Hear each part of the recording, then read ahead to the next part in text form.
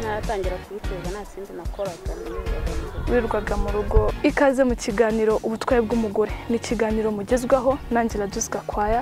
Ni ikiganiro cyahariwe abana b'abakobwa n'abagore tuganira ku biteje imbere abivanye mu bukene bakaba bafite intera ubu ngubu bagezemo. Ese byatangiye ari ibyo ucuruza cyangwa hari ikindi wabanje gukora mbere yo gucuruza ibigori? Nta kindi kintu nakoraga natangiye gucuruza ibigori. Ni ikiganiro kizaza gifasha abari n'abategarugori mu kwiteza imbere kibafasha mu kwimenya kibafasha mu kuva ku ntera imwe bajya ku yindi. Bazajya nabo bashakisha ukuntu babigenza bagashaka amafaranga make bakarangura utuntu duke bagacuruza umuntu agenda azamuka gake gake. Byose muzabikurikirana mu kiganiro cyacu ni ikiganiro kizaza gishishikariza buri umwe wese kuba yakiteza imbere kandi mu buryo bwiza.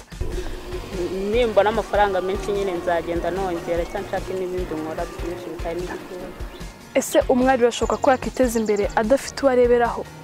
Ese umwari birashoboka ko yakiteza imbere adafite icyitegererezo? Byose n'ahandi mubisanga mubisanga mu kiganiro ubutwari bw'umugore.